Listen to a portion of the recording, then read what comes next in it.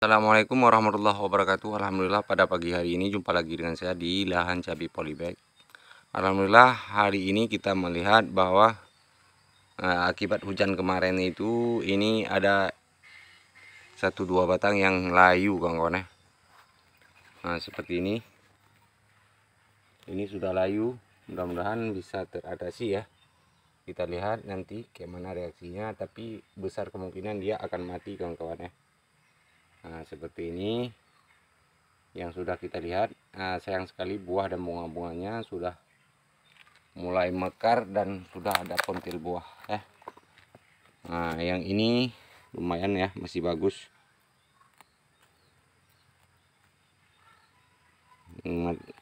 Hari ini mendung lagi tidak apa matahari.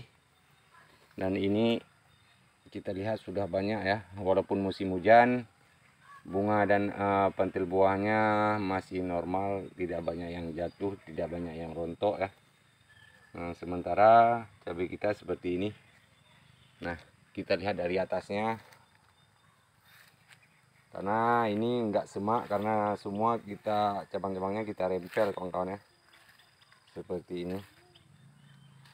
Nah dan ini ada yang layu juga satu lagi karena media tanamnya sudah basah sekali bukan lembab lagi kawan-kawan. Layu dia. Nah. Seperti ini. Dan buah-buahnya sudah mulai ada ya. Nah, mudah-mudahan ini bisa kita eh, jadikan bibit lagi kawan-kawan ya. Kita perbanyakkan lagi. Ini hasil kita buat sendiri kawan-kawan kayak gini jadinya lumayan alhamdulillah sekali ya. Kita belajar buat bibit kemarin. Insya Allah jadi ya. Kalau sudah seperti ini apalagi ya. Uh, sudah boleh kita andalkan ya. Nah, ini karena daun ini karena kuning-kuning seperti ini karena ini lembab kawan-kawan karena proses kelembaban itu media tanam berarti terpengaruhnya banyak sekali ya seperti ini keriting ini media dan media tanam masalahnya maka saya tidak obati pakai insek ini pun tidak kita obati pakai insek kawan-kawan ya nah ini keriting juga nah Nah, seperti ini. Ini ada yang layu. Berapa batang ini malah sudah mati kawan-kawan. Nah, mati.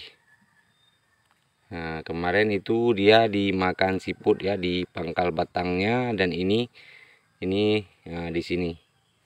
Nah, makan masiput. Kemarin tuh hujan deras, maka dia seperti ini akan mati. Tapi tunasnya masih tinggal, saya tidak cabut juga ya. Nah, ini daun-daunnya pada rontok semua kawan-kawan. Nah, ini rontok. Rontok malah terjangkit ini lagi ya. Daunnya. Nah, ini kemungkinan besar ya. Kemungkinan besar tidak bisa terlewati ya.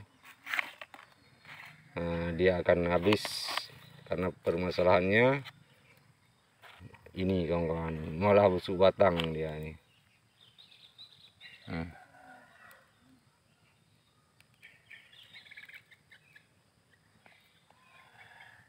Permasalahannya dia akan busuk batang. Yang seperti ini sudah ada dua batang ya terkena. Tapi bunganya masih kuat nih bertahan nggak rontok.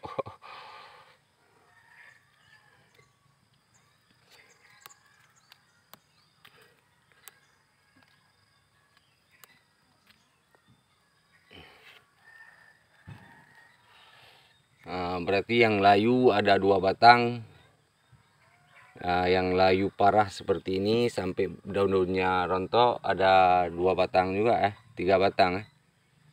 tiga batang yang layu tiga batang yang layu parah tiga batang juga. Ya jadinya enam batang ya ini lagi yang seperti itu. Nah, daunnya pada rontok. Nih rontok sendiri dia nggak nggak kita rontokkan ya, ya udah seperti ini ya. nah rontok kita lihat nanti ya. Permasalahannya nih di akar semua ini. Karena media tanamnya terlampau bukan lembab lagi udah basah. Ya.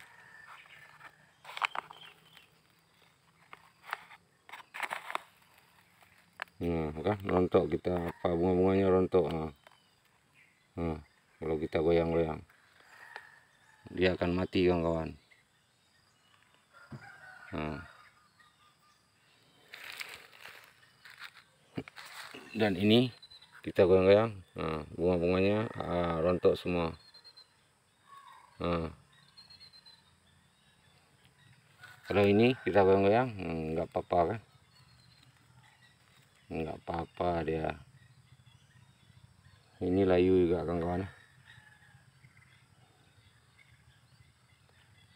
Mudah-mudahan ini bisa teratasi ya nah, kita tunggu 2-3 hari kita lihat bagaimana perkembangannya. Kalau ini kemungkinan besar dia mati kawan-kawan.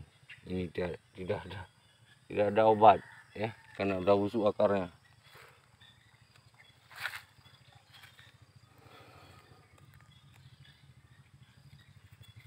Nah, seperti ini kawan-kawan. Untuk sementara di tempat cabai polybag kita dan hari ini kita mau ke lahan mau tanam cabai lagi ya. Yang tersisa yang belum kita belum siap kemarin. Ini cabai yang pernah saya pindah ke tempat yang tidak terkena hujan ya. Nggak sempat saya masukkan lagi nggak sempat saya pindahkan lagi maka dia seperti ini? Di luar ya. tapi sudah ada sudah banyak perubahan ya. Hmm, di mana kemarin itu ini daun mudanya seperti ini ya. Sudah melengkung melengkung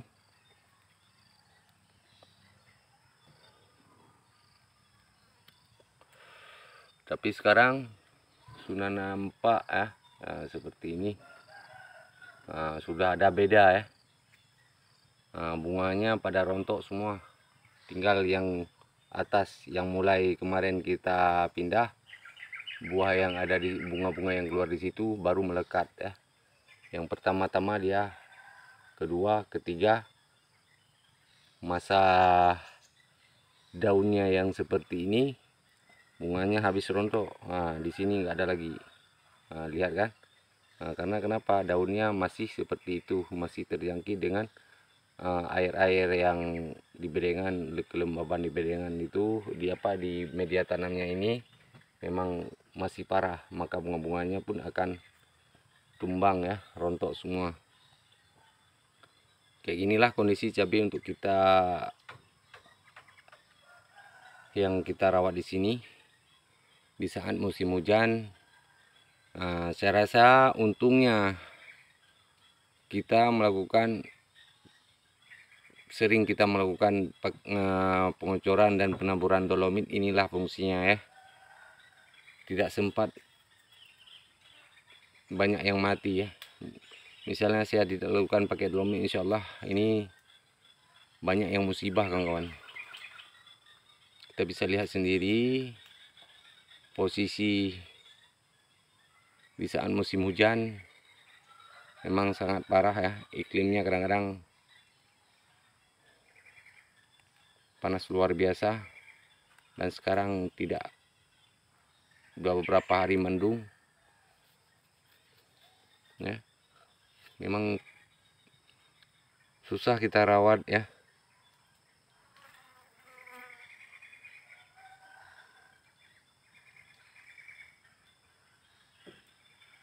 Sebenarnya rawat cabai ini tidak tidaklah susah. Ya yang penting kita tahu bagaimana harus menganalisa ya? Bagaimana kita harus bicara dengan pohon cabai ini secara tidak langsung nah, maka kita harus jeli untuk menganalisa bahwa di mana kekurangannya di mana kelebihannya kawan-kawan ya? Maka dari itu jangan lupa subscribe like dan komen. Semoga channel ini maju dan berkembang nantinya. Di mana ada nanti yang bisa kita ambil manfaatnya di video-video ini. Mudah-mudahan ya. Saya akhiri saja untuk perjumpaan di pagi hari ini. Saya mau ke ladang mau tanam cabai lagi sekitar 5 bedengan lagi mudah-mudahan ini bermanfaat untuk kita. Nanti kita buat video lagi di saat lagi kita menanam ya. Kali ini kita tanam bibit dairi ya. Amin ya Allah amin ya rabbal alamin. Assalamualaikum warahmatullahi wabarakatuh